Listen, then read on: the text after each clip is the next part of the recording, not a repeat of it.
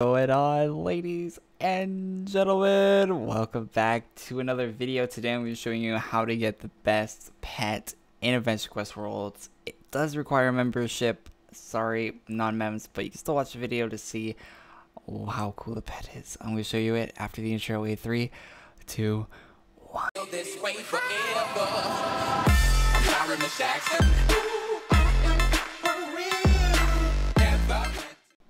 Hey, hey, hey, hey, welcome back.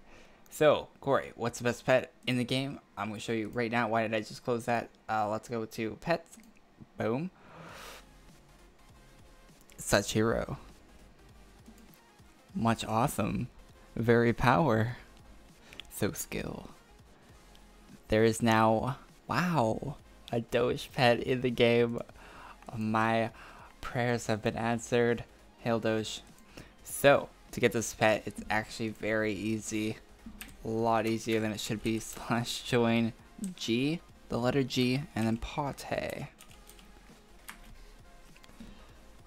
It'll teleport you to this map. So this is uh, G Jappy. I think that's how you say it. Um, and he's moving on from Adventure Quest Worlds. Uh, you can read about it on the side notes if you want to.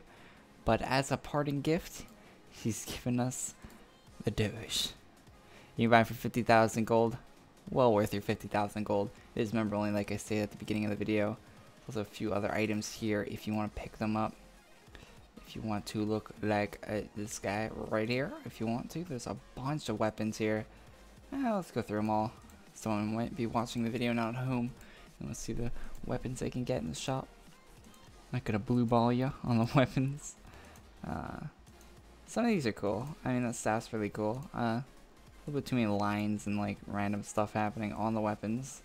I'm more of a simple weapon kind of guy. That one I like. I like this rod of all potato. That's very cool. A lot of this stuff's really good though. So you can pick all that stuff up. There's some non-member items in there, of course. Like the uh, the armor's non-mem.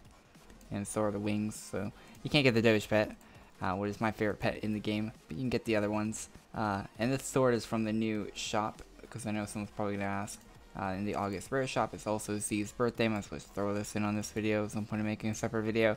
So you can get those, uh, these blades for 500 ACs each. They look very nice.